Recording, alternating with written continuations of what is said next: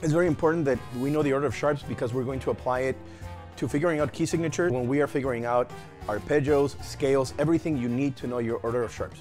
You can learn it by letters, but I'm going to teach it by syllables. The order of sharps is fa, do, sol, re, la, mi, si. Some of you guys that do choir and other things might be like, ti.